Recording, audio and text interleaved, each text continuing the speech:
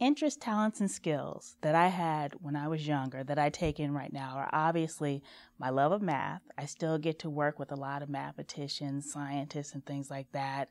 Uh, interests, discovery, learning things, uh, doing things in the best way, kind of creating that perfect product, right? When I was younger, I used to like optimize space. I'd like fix my mom's like pots and pans and I'd straighten things up and I'd be like, oh, you can fit twice the amount of stuff in this space. You're not, you know, using your space effectively. So I do that now, but I do it in managing. I do it in my job.